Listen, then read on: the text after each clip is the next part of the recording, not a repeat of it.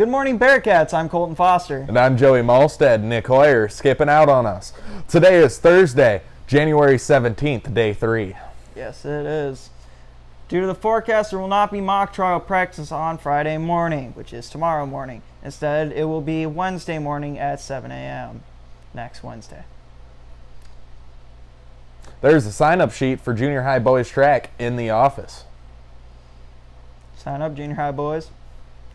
Reminder that Science Club members need to be here on Saturday at 1.30 p.m. to work the concession stand for the wrestling tournament. Please stop in and see Mrs. Paulus if you have a conflict. Remember that social studies, not social studies club, science club. I have my things wrong. Friday's basketball games at St. Ansgar have been postponed to Monday, January 8, January 28th, 2019. Yes, they were. It's snowy out. Wee bit. Let's hope we don't have school tomorrow. Everyone, take a moment to pray for no school tomorrow. Pray Lord Jesus. And that concludes today's announcements. Remember to follow the Bearcat Way and that it's great, great to, to, be, be a Bearcat. Bearcat.